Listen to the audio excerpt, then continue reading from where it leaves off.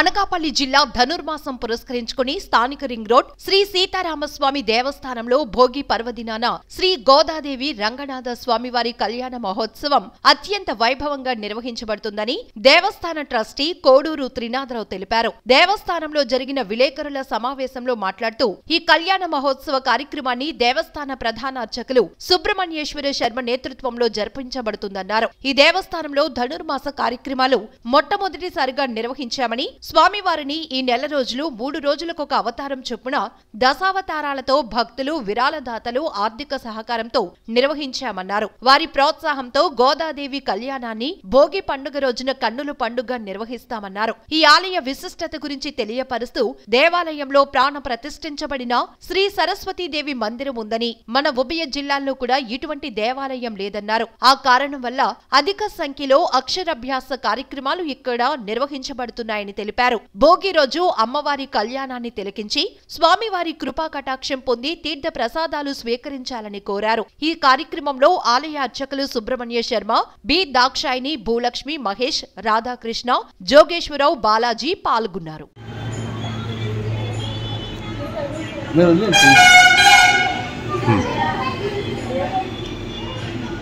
చెప్పండి.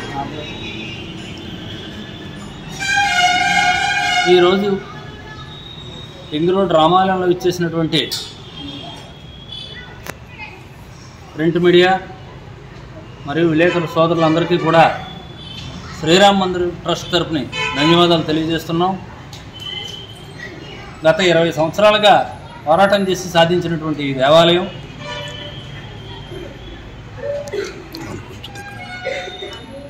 ధనుర్మాస సందర్భంగా దేవాలయంలో మూడు రోజులకు ఒక అవతారం చొప్పున దశావతారాలు ఏర్పాటు చేయడం అనేది అలాగే రంగనాథ గోదాదేవి కళ్యాణం రేపు భోగినాడు అత్యంత వైభవంగా చేయడానికి మా దేవాలయ అర్చకులు మరియు ట్రస్ట్ సభ్యులు అందరం కలిసి ఈ కార్యక్రమాన్ని దిగ్విజయంగా చేయాలన్నటువంటి సంకల్పంతో మేము చేస్తున్నాం. అలాగే ఈ కార్యక్రమానికి అన్ని రకాల సహాయ సహకారాలు అందించినటువంటి ప్రతి ఒక్కరికి పేరు పేరున ధన్యవాదాలు తెలియజేస్తున్నాం. మిగతా డెవలప్మెంట్లు కూడా ఉన్నాయి. కావున దీన్ని అనుసరించుకొని భక్తులు కూడా వారి సహాయ సహకారాలు అందించాలని కూడా ఈ దేవస్థానం ట్రస్టీగా మిమ్మల్ని అందరినీ కోరుచున్నాను. అలాగే కార్యక్రమానికి అందరూ ఇచ్చేసి దిగ్విజయంగా ఈ కార్యక్రమాన్ని జయప్రదం చేయవలసి స్వామివారి ఆశీస్సులు తీసుకొని తీర్థప్రసాదాలు తీసుకొని వెళ్ళవలసిందిగా అందరినీ ప్రార్థిస్తున్నాం.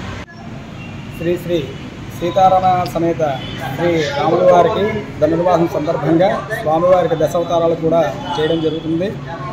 ఈ అలంకరణ మూడు రోజులకు ఒకటి చేయడం అయింది. అలాగే తేదీ పద్నాలుగు ఒకటి రెండు వేల ఇరవై మూడు స్వామివారికి రంగనాథుడి సమేత గోదాదేవి కళ్యాణం కూడా జరుగుతున్నది. కావున భక్తులందరూ కూడా విచ్చేసి స్వామివారి యొక్క తీర్థప్రసాదాలు స్వీకరించి స్వామివారి యొక్క అనుగ్రహం పొందుతారని మరీ మరీ కోరుకుంటున్నాను